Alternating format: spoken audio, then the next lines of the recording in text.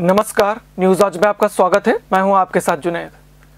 ग्वालियर में महापौर कार्यालय के इटालियन गार्डन में आदि गुरु शंकराचार्य की मूर्ति किसी अज्ञात व्यक्ति ने तोड़ दी। यहाँ पर देखा गया कि किसी शरारती तत्व ने उनके प्लिंथ को नुकसान पहुँचाया। वह जगह जगह से टूटा हुआ है। इस क्षेत्र में तनाव की स्थिति बन गई। पुलिस ने अज्ञात व्यक्ति के खिलाफ मामला दर्ज कर लिया है और उसकी तलाश की जा रही है। गौरतलब है कि कुछ वक्त पहले डॉक्टर भीमराव अंबेडकर की मूर्तियाँ तोड़ी जा रही थीं।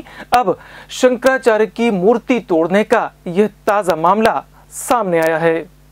ग्वालियर से भूपेंद्र साहू, न्यूज़ आज। और फ़िलहाल इस खबर में मेरे साथ इतना ही। इजाज़त दीजिए, नमस्कार।